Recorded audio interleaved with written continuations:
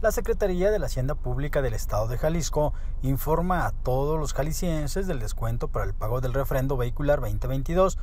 durante los tres primeros meses del año, enero, febrero y marzo. Y es que para las y los contribuyentes dueños de automotores con placas del Estado de Jalisco que realicen su pago durante esos meses, podrán recibir hasta 10% de descuento realizando su pago en el mes de enero a través de recaudadoras, internet, ventanilla bancaria